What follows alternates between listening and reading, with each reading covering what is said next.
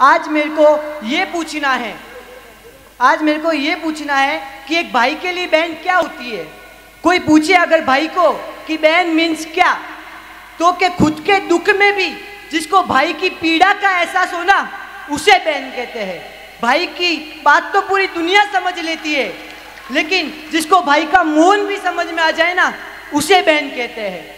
पूरे भले ही पूरे दिन अपने भाई से लड़ती रहे लेकिन पूरी दुनिया से अपने भाई के लिए लड़ जाए ना उसे बहन कहते हैं। पहले मम्मी पापा से भाई की ही कंप्लेंट करेगी लेकिन बाद में भाई की ही तरफ़ हो जाए ना उसे बहन कहते हैं। बात है क्या जोश है? और आज मेरी ये दोनों बहनें संसार को छोड़कर संयम पथ पर अग्रसर होने जा रही है। आज मुझे एक तरफ़ खुशी भी है एक तरफ़ दुख भी है। खुशी इस बात की है कि कल हमारे जिन शासन को दो अमूल्य, दो अद्वितीय हीरे मिलने वाले हैं और दुख इस बात का है कि कल मेरे लाइफ में सपोर्ट के दो पिल्लर टूटने वाले हैं। आज बहना, तुम इस मार्ग पर जा तो रही हो, पर अब मैं किसके साथ वो हँसी मज़ाक करूँगा? किसके साथ मस्तियाँ करूँगा? किसके साथ मीठी मीठी लड़ाइयाँ करूँगा? और अब मुझे लाइफ में कौन आगे गाइडेंस देगा?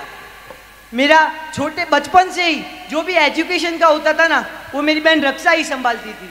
जब भी मेरा रिज़ल्ट कम आता था तो मेरी बहनें कहती थी कि, संतोष, तू क्या कर रहा है? मम्मी, पापा तेरे पीछे इतनी मेहनत कर रहे और तू इनको रिटर्न में क्या दे रहा है? पर बहना, अब मुझे इस बात का अफसोस है कि अब मुझे आगे इस तरह कौन मोटिवेट करेगा? मैं एक मेरी किस्सा सुना चा, सुनाना चाहूँगा मेरी बहन के साथ का। जब मैं एट्थ में था ना तब मेरे पापा मेरे को स्कूल में लीव दिलाने आए थे। तब सर ने बोला था कि आप बार बार इसको लीव दिलाते हो। ये पढ़ाई में इतना अच्छा नहीं है। आप ये बच्चा तो हमारे स्कूल का नाम खराब करेगा।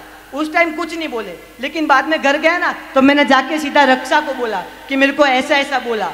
तो रक्षा ने उसी टाइम सर को कॉल किया और बोला कि आप ऐसा कैसे बोल सकते हो मेरे भाई को कि वो इतना पढ़ाई में भी वीक नहीं है? और कुछ ही दिनों बाद जब मेरा टर्म वन का रिज़ल्ट आया ना तो मेरे मैथ्स में सबसे हाइएस्ट 48 मार्क्स आउट ऑफ़ 50 तब मुझे सर ने पर्सनली बुला के कहा कि संतोष तेरी बहन को जाके सॉरी बोलना मैं गलत था वो सही थी। बात जोरदार तालियाँ हो जाए अंत में इतना ही कहना चाहूँगा कि बहना तुम इस मार्ग पर जा तो रही हो क्या बहना तुम इस मार्ग पर जा तो रही हो और तुम्हारा इस ये मार्ग सुंदर तथा निष्कंटक बने।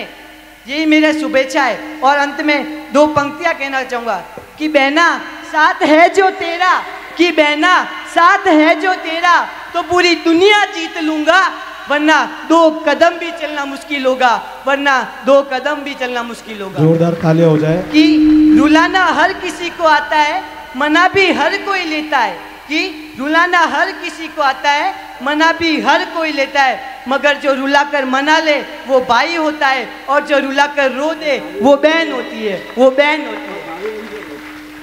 लोग कहते हैं कि भगवान हर जगह नहीं हो सकते, इसलिए उन्होंने माँ को बनाया।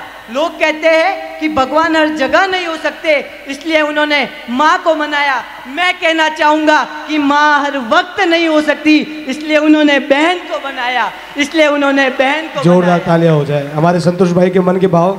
अंत में बहना इस अभी तक के जीवन में मैंने आपसे बहुत भी बहुत गलतियाँ की होगी आपको बहुत परेशान किया होगा बहुत हैरान किया होगा कभी आपका मन दुख भी किया होगा। और अभी मेरी बहनें जो उर्मिला पायल, मम्मी पापा, उनके उनको बोलने के समय की इतनी अनुकूलता नहीं है।